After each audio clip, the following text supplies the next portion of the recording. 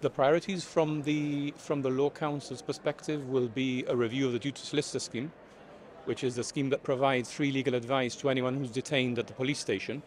Um, that was supposed to be reviewed after three years, and it's now into its seventh year, so that's well overdue.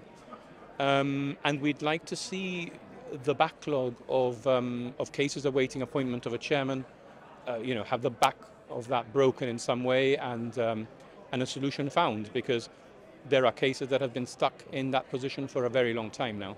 You spoke of conflict between government parties within the legal sector. I think we've seen it highlighted this year yeah. on a large scale in the inquiry. Is this just an inescapable part of doing business in Gibraltar, or do you think this is something that needs to be worked on?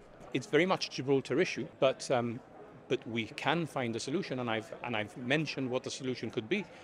Uh, the, the, the recruitment of new chairpersons, which I understand is underway, would need to focus on chairpersons that aren't that don't do work for government, and in particular, as I've said, don't intend to do work for government because it would be you know, it would be a waste of time to recruit um, lawyers into that into those chair, chairman posi uh, positions that then take on government legal work and conflict themselves out.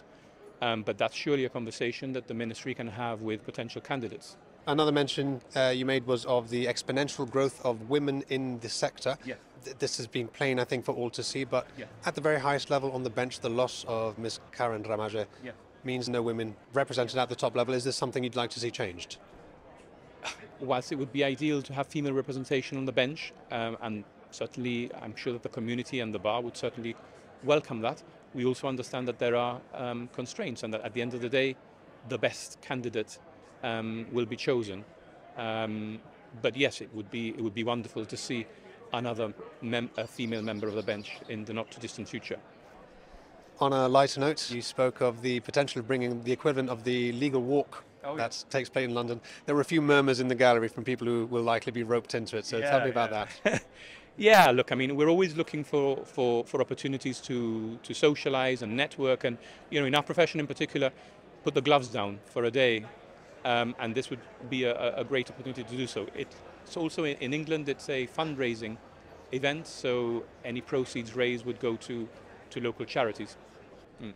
And finally, on a personal note, uh, congratulations on your achievements so far. And what are your thoughts on this being your last address as, as chair?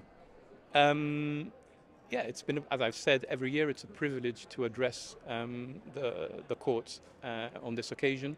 It's now my fifth year addressing the courts, including the pandemic years.